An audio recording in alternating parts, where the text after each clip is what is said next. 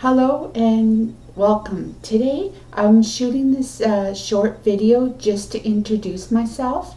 My name is Donna Gain and I live in Cloverdale, BC and I live with my fiance and my loving dog Wicket and I've been online for over 10 years and also I've also want to connect with like-minded people and I would love to learn more about what you do online and about who you are. So if you can please get back to me and let's make a connection and we can connect and share ideas. So I look forward to talking to you soon. So have a great day. Bye for now.